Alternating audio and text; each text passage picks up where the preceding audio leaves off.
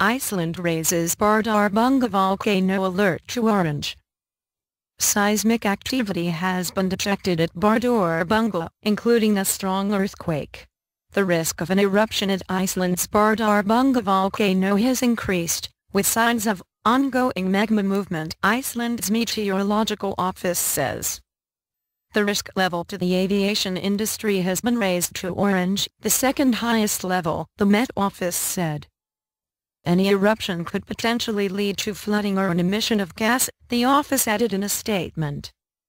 The Eyjafjallajökull volcano erupted in 2010, producing an ash cloud that severely disrupted European airspace.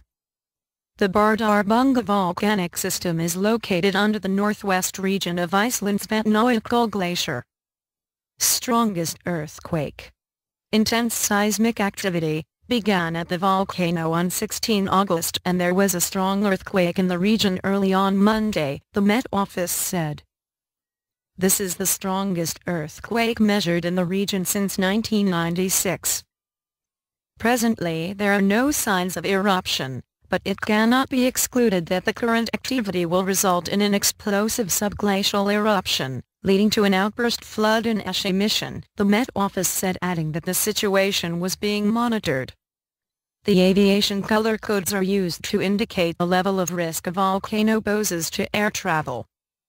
An orange alert indicates that a volcano is showing escalating unrest with increased potential of eruption or is erupting without any major volcanic ash emissions. A red alert means that an eruption is imminent, or is underway with significant emission of volcanic ash into the atmosphere. The ash cloud produced by the 2010 Eyjafjallajökull eruption led to hundreds of thousands of passengers being affected by flight restrictions.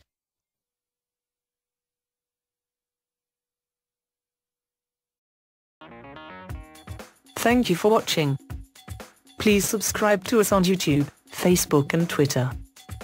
You can visit us on www.therealthingmeme.webs.com.